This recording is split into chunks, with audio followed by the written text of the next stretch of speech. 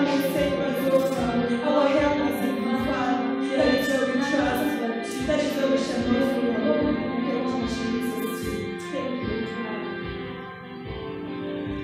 hear me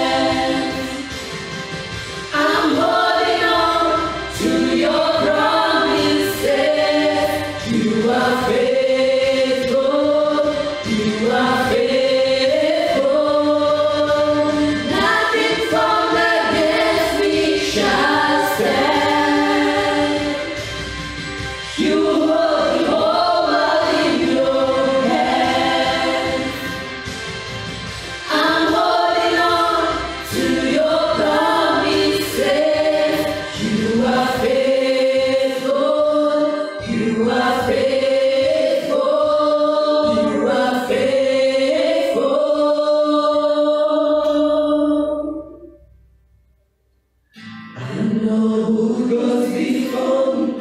I know who stands behind.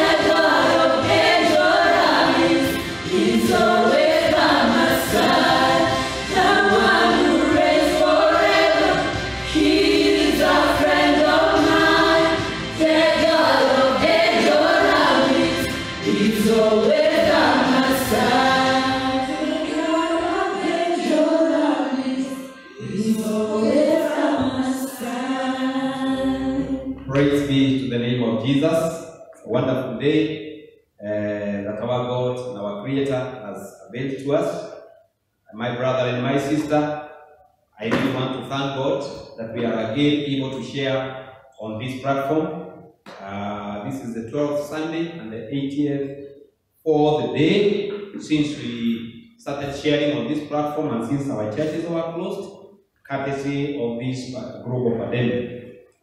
May God hear our cry that the churches will be opened very quickly and we can return and worship as usual. I want us to pray in Jesus' name.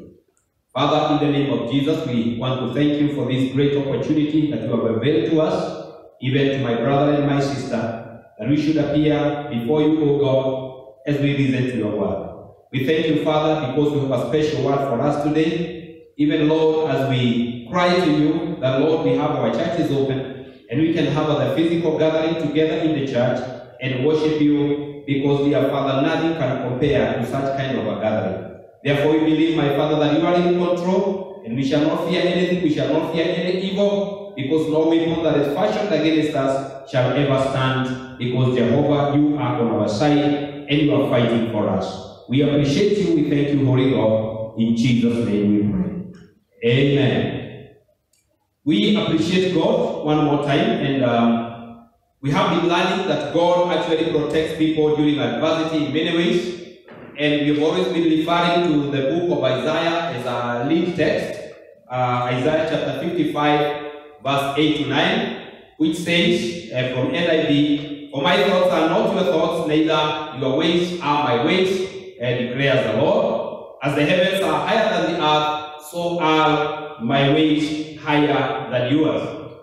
And among the many ways that we have learned that God uses to protect his people that God hides his people in times of adversity, and that he also provides a way of escape, and that God also provides or works out unique deliverance for his people in trouble. Last Sunday, we learned that God also fights for his people in the process of protecting them in times of adversity. Our main focus was on the exodus of the children of Israel from slavery in Egypt. And we saw that it involved God fighting for them with an outstretched arm and through many acts of judgment. We appreciated three critical truths that we need to know while in trouble. And the first one is that God sees our misery. God sees our misery, or God sees your misery. He sees every tear that you shed, and a no tear that comes from the child of God that falls down in vain. And number two, uh, critical truth is that God hears your cry. When you cry, God hears, and you should cry in form of a prayer to God or a petition to God. And number three, truth that we say we need to appreciate when we are in, uh, in, in trouble, in the midst of trouble, is that uh, our God is concerned about our suffering. We say that no one else could be more concerned than God about uh, our suffering. There are times when we think that there are people who are really concerned about us, or we tend to think we are more concerned about our suffering. But God is more concerned about about our suffering. And having seen our misery, having heard our cry, and having been so much concerned about our suffering, now God decides to face it off with the enemy, and God decides to fight your enemy directly. Now, when the battle increases in your life, my brother and my sister, when battles multiply in your life, then you need to know that the Lord is ready to fight all of them. The more the battles, the more the victories, and the greater is the reward. We have also appreciated that Jesus Christ, the Son of the living God, is the commander of the army of God, and he did appear to Joshua as a man standing with a drawn sword, ready to fight. And he says, I am the commander of the army of the Lord, or I have come as the commander of the army of the Lord, I have now come. The commander shows up in battles, even for brethren, with a drawn sword, shows that he is ready to fight. As Joshua surrendered to the commander of the army of the Lord, and later witnessed extraordinary victory for the children of Israel, so should you and me surrender in all our battles. We should surrender to Jesus Christ, and we are going to experience unprecedented victory in our lives in the name of the Lord. I want to share with you the great assurance that we have even when we are in battle. When we are in battle, there is a great assurance from the book of Isaiah, chapter 54, verse 17. And this is what the Bible says, Isaiah chapter 54, verse 17. No weapon that is formed against thee shall prosper, and every tongue that shall rise against thee in judgment thou shalt condemn. This is the heritage of the servants of the Lord, and their righteousness is of me, saith the Lord.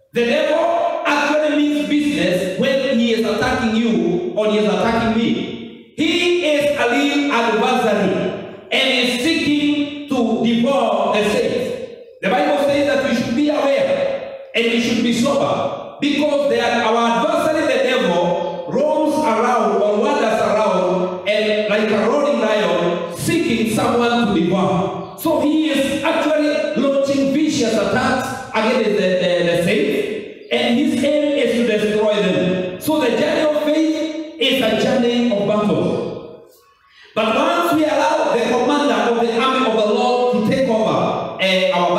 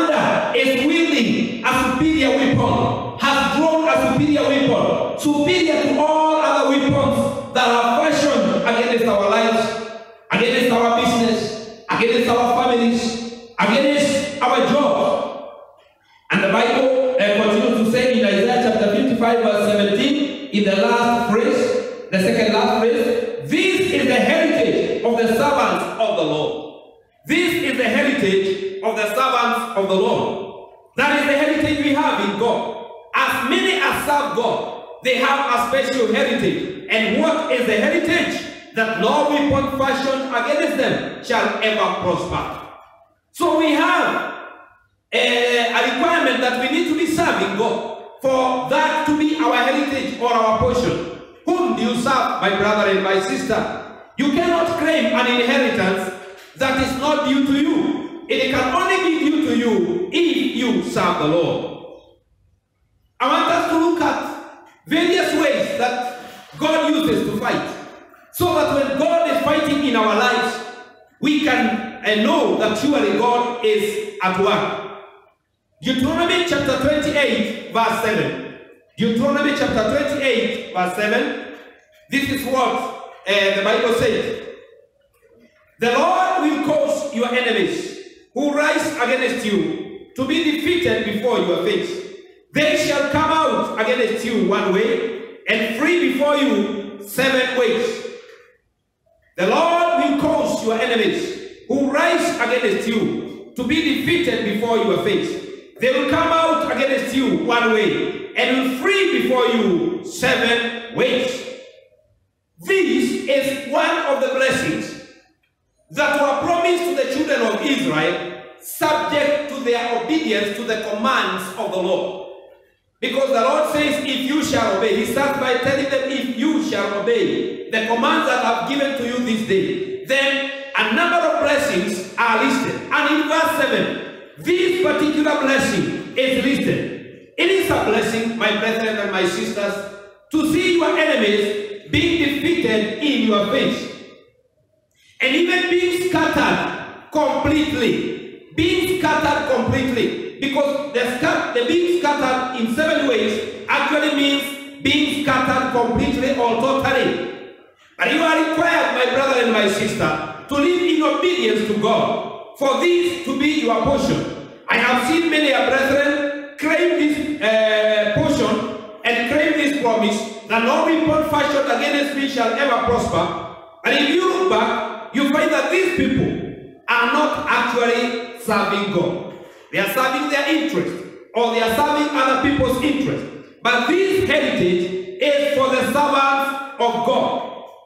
Your enemy will come in one battle array. They will come as one man to you. They will come as one man to you. But what the, uh, the Lord is promising, that they will be scattered in seven ways. That means that none of the soldiers of the army of your enemy will ever know where his colleague has gone. In other words, they will go helter skelter. They will be confounded and they will be rooted in your presence in Jesus' name. That is your heritage, child of God. In Psalms 68, verse 1, this is a psalm of David, also called a choir, or a, I mean a song of David also, for the choir director. And this is what he says.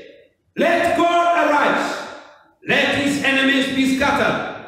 Let also them that hate him flee before him. Let God arise, let his enemies be scattered. Let them also that hate him flee before him.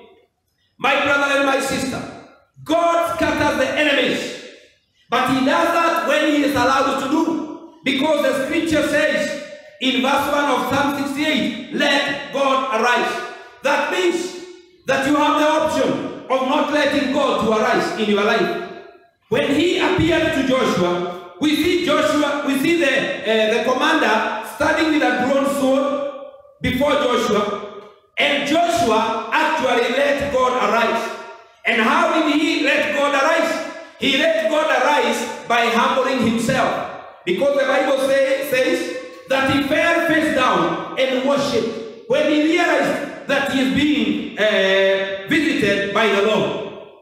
We let God arise by surrendering before him in our troubles. Is what rises or what you allow to arise in your troubles. What arises in your battles, my friend? What arises in your battles? Is it your voice?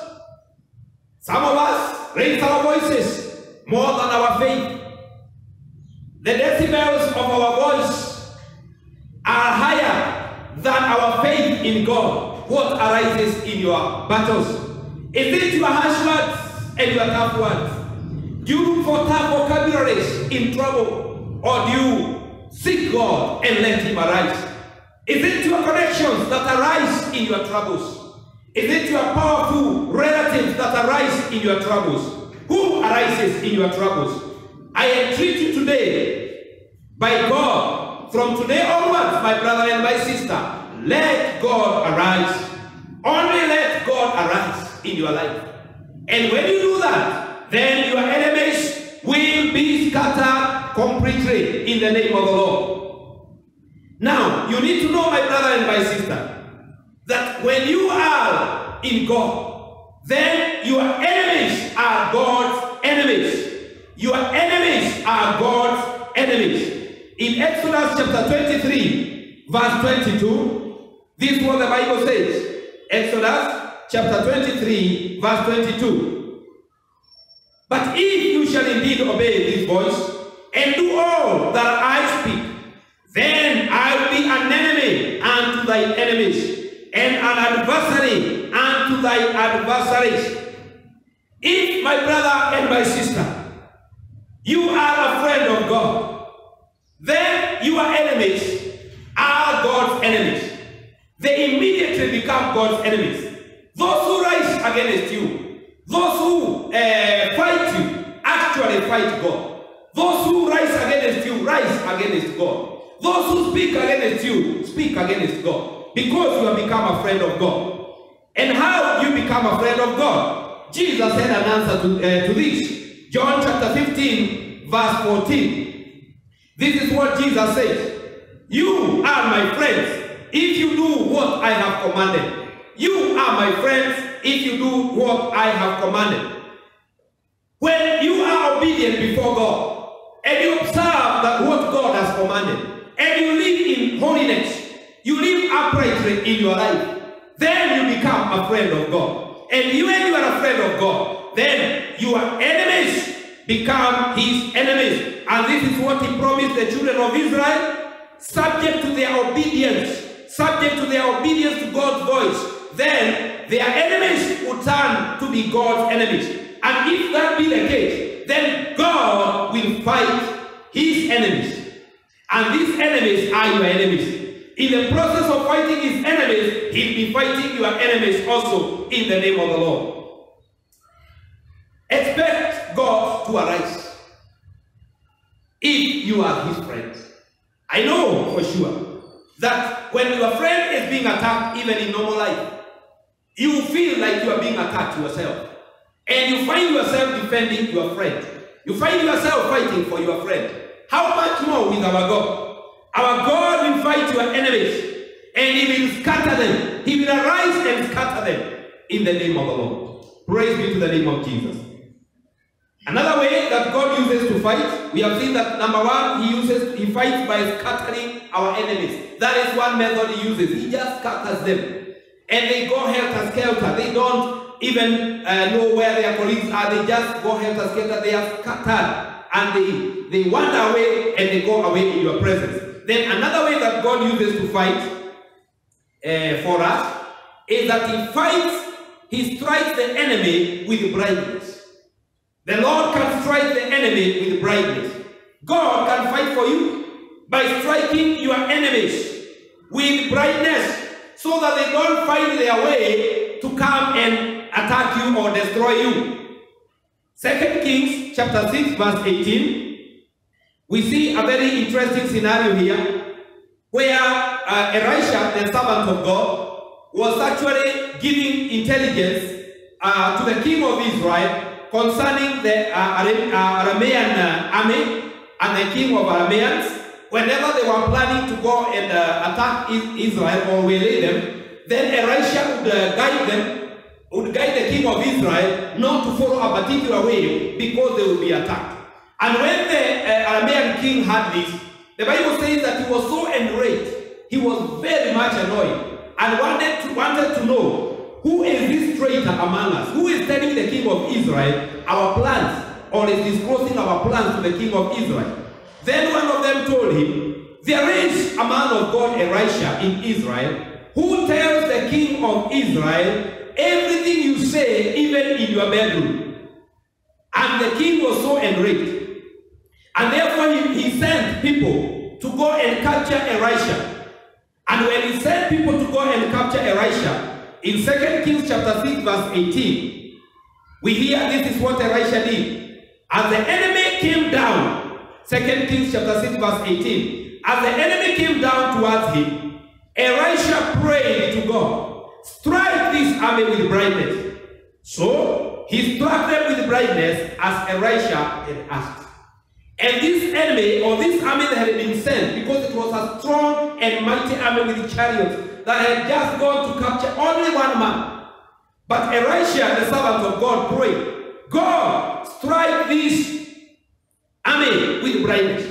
And the Bible says they were confused and they could not find Elisha. They were talking to him and they could not identify him. They were not able to capture him as had been planned. Praise be to the name of the Lord. It is possible that God can do the same for you in the name of Jesus Christ. Genesis chapter 19, verse 9 to 11. We have another case where some enemies were struck with brightness. And we are just going to read verse 9 to 11, Genesis chapter 19, verse 9 to 11.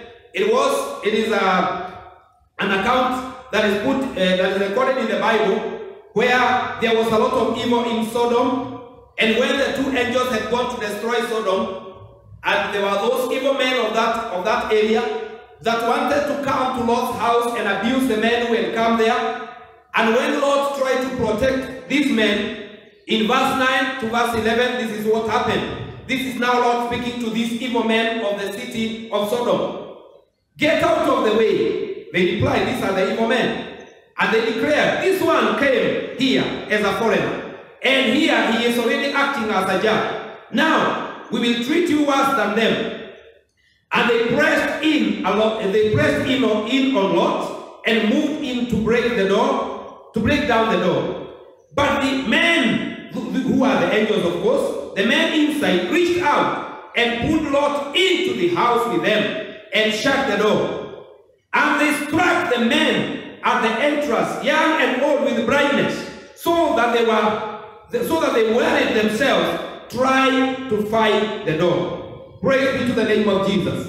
This was God again acting and fighting for his servant by fight by striking the enemies with brightness. And they were not able to find Lot and find their way. And after that, Lot was rescued from that evil city of Sodom. When you realize in your life that your enemy is crossing in on you, it's just about to corner you and, and, and, and encircle you. It's just crossing in on you. Then you can, and almost catching you, you can ask God as Elisha prayed, strike them with brightness. And God is able to do exactly the same.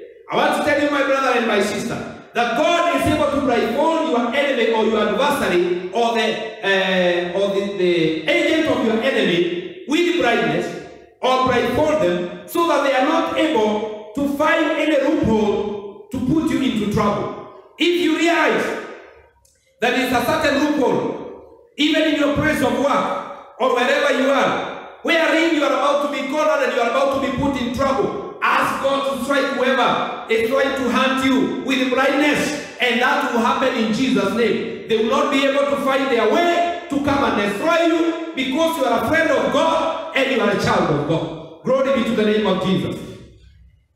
And the other way that God would use is that He can wage war. He can wage war. He can send His angels to wage war against your enemies and protect you.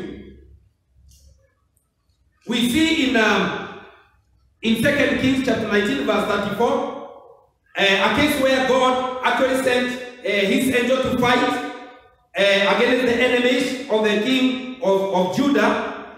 And we find that King Hezekiah, who was the king of Judah, was the best king that ever lived or ever ruled Judah. The Bible says there, was not, there wasn't such a king that was so right. For the Bible says that he did what was right and righteous uh, before God. He even destroyed idolatry in Judah.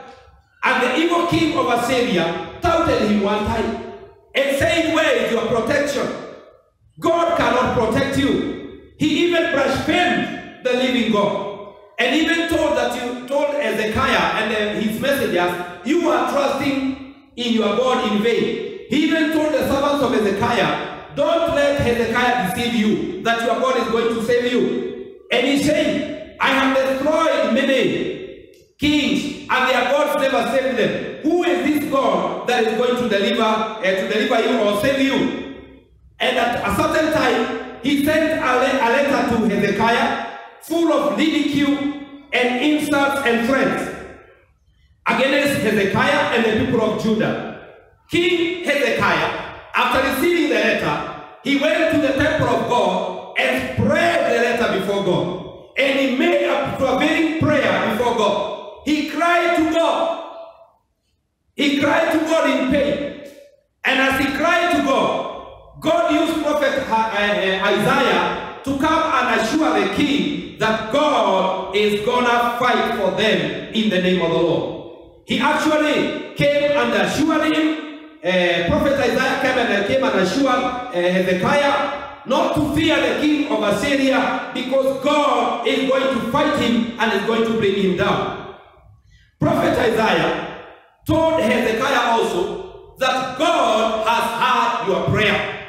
God has heard your prayer. And Isaiah concluded his message to King Hezekiah in 2 Kings chapter 19, verse 34. And this is what he says. For I will defend this city to save it for my own sake and for my servant uh, David's sake. For I will defend this city to save it for my own sake and for my servant David's sake. Praise be to the name of Jesus. This is what uh, Isaiah had to tell uh, the king uh, of Judah. And Isaiah and, and King Hezekiah was assured. But that same night, after uh, Isaiah had given the message to King Hezekiah, in verse 35, that night, 2 Kings chapter 19, verse 35 to 36, that night, the angel of, of, of the Lord went out and put to death 185,000 in the Assyrian camp. When the people got up the next morning, there were all the dead bodies. And that is it. So uh, Sennacherib, king of Assyria, broke camp and withdrew. He returned to Nineveh and stayed there. Now later, this king uh, of, of Assyria, Sennacherib, Sennacherib, was actually killed while he was worshipping his idols in one of the temples. He was killed and cleared, and his son took over the leadership of Assyria. God can also fight for you even though you are asleep. Because the Bible says God did, did, this at night. At times when the sun is going down and we feel like we need the day to work more and uh, to, to work out things, I want to tell you even when you are asleep, God can still fight for you. God fought for King Hezekiah while everybody else was asleep. And when they woke up, they found a lot of victory in the name of the Lord. The third way that God would use to fight uh, you for you or fight the enemy is that he can cause confusion in the enemy's camp. God can cause confusion to your enemy. In Joshua chapter 10, verse 8 to 12, we see uh, something here when Joshua uh, was attacking, was about to attack the Amorites. The Amorites had heard about the conquest of Jericho and the conquest of Ai. And they therefore prepared themselves. They looked for other uh, five kings to be their allies so that they can fight one nation of Israel. And they were so afraid of Joshua. And they were, is said that they had heard what Joshua had done in Jericho and Ai. Therefore, they were so much afraid. And when Joshua knew that they had gathered, and there were many, they had gathered, the Amorites had gathered many other kings, this is what the Lord says to Joshua in Joshua chapter 10, verse 8 to 12. Verse 8, the Lord says to Joshua, Do not be afraid of them. I have given them, given them into your hand. No, not one of them will be able to withstand. I have given all of them into your hands. Not one of them will be able to withstand. Then verse 9, after an all-night march from Gilgal, Joshua took them by surprise. Joshua took them by surprise. Then verse 10, the Lord threw them into confusion. The Lord threw them into confusion before Israel. So Joshua and Israel defeated them completely at Gibeon. Israel pursued them along the road, going to Beth Horon and cut them down all the way to Azekah and Makkedah. Verse 11 As they fled before Israel on the road down from uh, Beth Horon to Azekah, the Lord hurled large hailstones down on them, and more of them died from the hailstone than were killed by swords of the Israelites. Praise be to the name of the Lord. We see a case here where many people have gathered, or many, uh, many armies are gathered from many nations against one nation, Israel. And they thought that by their armies and by the strength of their, of their army, they will be able to fight and defeat Joshua and his army. But now, the Lord does something interesting. God throws them into confusion and they start fleeing. They start fleeing from Joshua. And as they are fleeing, then the Lord sends the hailstone upon them. So that though Joshua and his army had already cleared a number with their sword, God now intervenes and brings hailstones upon these enemies so that they die more that were killed by the hailstone than the sword. So that Joshua and the Israelites may not think that they have been delivered by their sword, but by God Himself. In 1 Samuel chapter 14, verse 20, we see another account here. Jonathan had already decided to go and attack the Philistine outpost. And after he had done that attack, God gave him initial victory against the enemy. And that initial victory threw the enemy into confusion. And in Sa- uh, 1 Samuel chapter 14, verse 20, this is what the Bible says. Then Saul and all his men assembled and went to the battle. They found the Philistines in total confusion, striking each other with their swords. My brothers, my brothers and my sister, my sisters, when God is fighting for you, He can throw your enemies into confusion. They may even start turning against one another and forget that you are the target, you are the original target, and they will just start fighting against one another. All the enemies in your life, my brother and my sister, God is able to throw them into confusion so that they turn against each other in the name of the Lord. Could it be in your place of work? Could it be in your business? Could it be in your family? Wherever you are, all those enemies, God is able to throw them into confusion so that they forget about you and they start fighting one another. This is what happened in the case of Jonathan. All the enemies of the people of God, the Philistines, they were thrown into the confu- into confusion. The Bible says it was total confusion, and they started striking one another. Another way God can do, can use to fight for you, is that He can cause the enemy to panic. God can cause the enemy to panic. In 1 Samuel chapter 14, verse 15 to 20, we see that in verse 15, when we read verse 15, we don't need to go to verse 20 because we've already read it, we read to verse 16. Then the panic struck the whole army, those in the camp and field, and those in the outposts, and raiding parties, and the, and the ground shook. It was a panic sent by God. Saul's, uh, Saul looked out at Gibeah in, in Benjamin, saw the army melting away in all directions. My brother and my sister, the Bible says this was panic sent by God. It is the same story that we are reading about uh, Jonathan uh, war expedition when he attacked the Philistines outpost. And these people were thrown into confusion. They were also uh, having panic. The panic was sent by God. Such panic that made the ground even shake. And the Bible says that the people who are uh, at the watchtower or the lookouts for Saul at Gibeah in Benjamin saw the armies melting away in all directions. Beloved, when God sends panic to your enemies, when God sends panic to your enemies, they will just melt away. There will be no fight. They will just melt away in your presence. God may make your enemies to melt away. Just the same way ice melts at the heat of the sun rays. The ice melts and it disappears. The same way your enemies will disappear and melt away in your presence in the name of the Lord. When you place a block of ice outside in the hot sun, you will see it just vanishing and melting away. You don't need to do anything to it. That is what the, the, the Lord will do to your enemies. They will just melt away because of the panic that the Lord is going to send in the name of the Lord. Glory be to the name of Jesus Christ. I know that some of us are facing diverse kind of battles and difficulties in our life.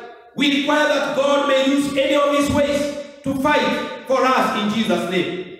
And therefore it is important that we be friends of God and we obey what he has said. And thereafter, God will use any of his ways to fight for us in the name of the Lord. In conclusion, my brother and my sister, I want to declare again, according to the assurance that we got uh, when we started, the assurance that we have in God, which we also say in Isaiah chapter uh, 54, verse 17, is the heritage of the sons of God or those who serve God.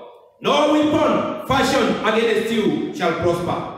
This is the heritage of you if you serve God.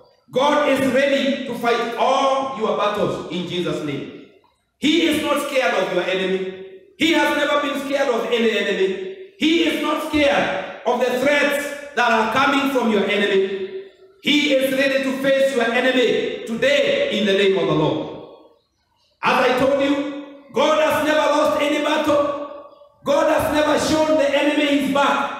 He confronts the enemy head on.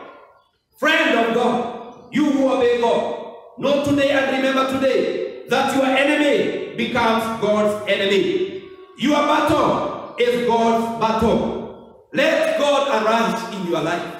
Let God arise in your life. And therefore, your enemies are going to be scattered totally in Jesus' name. He will give them what we call a total scatter, complete scatter in the name of the Lord. They go, they come in one way that they know, but God will make them scatter in seven ways, total scatter in your presence. This is your portion of blessings that is tied to your obedience to God's word. God is able to strike your enemies with brightness so that they don't find their way to come and attack you and finish you and destroy you. God is able to throw them into confusion, though they had done all their plans. And the plans that are just about to be executed, God is able to confuse them so that they cannot remember their plans anymore. And they will fight, they will start fighting against each other in Jesus' name. God is able to send panic to them, though you may not look like you are that strong. But a panic from the Lord is able to make your enemies melt in your presence in Jesus' name. It is not by power, not by might, but by the Spirit of God. They melt away, not because you have done anything, but because God has sent His own panic upon their lives in Jesus' name. I want you to join me in prayer, and I want you to believe God. I don't know what battles you are facing, but can you let God arise today in Jesus' name? Let God arise today in the name of the Lord. As you give your offering and your tithe, just know that this is one way of, uh, of honoring God. It's one way of being obedient. And God will truly fight your battles in the name of Jesus. And I want to tell you something. When you are obeying God, be sure that this uh, portion of the scripture that I've read, this assurance is going to be your heritage in the name of Jesus. Therefore, God bless you so much. The number you are going to send to is on the screen. It's 0703 186 284. 0703 186 284. And kindly, when you send, indicate what kind of uh, an offering you are doing. Is it uh, a love offering? Is it um, a tithe? Whatever it is, please kindly indicate, and God will bless you. We are continuing to worship God uh, with this song. Uh, your presence is a heaven to me, and God will bless all of us. Shalom, and may God bless you and do you good in Jesus' name. Amen. Shalom. Nothing